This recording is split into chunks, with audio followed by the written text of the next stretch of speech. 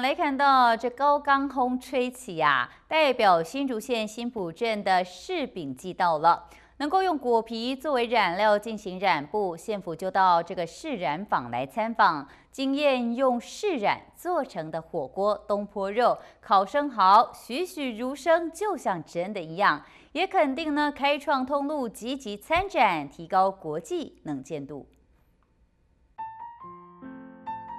包包、衣服，墙上挂的琳琅满目，还有桌上的火锅、东坡肉、发糕、烤生蚝，看出来了吗？全是用释然手工做成的，拟真食物展就像真的一样。县府今天参访新浦市染坊，都大呼惊艳。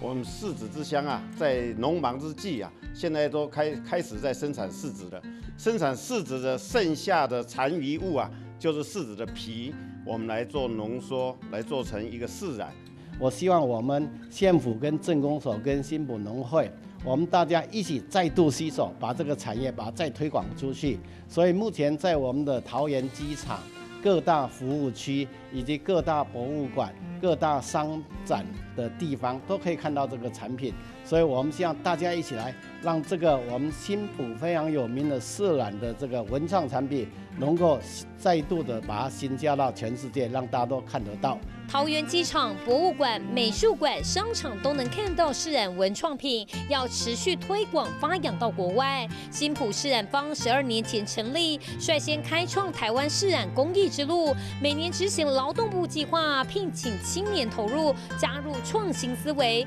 针对亲子客群能制作释染小动画、亲子围裙等，也积极参与台韩天然染色交流展、日本三岛町工人季等，提高国际能见度。九月柿饼季开炮，用果皮作为染料进行染布。十月底将推出彩虹饰染、穿搭走秀等 DIY 活动。我们的活动日期是在十月二十四号到十一月六号，我们会有结合了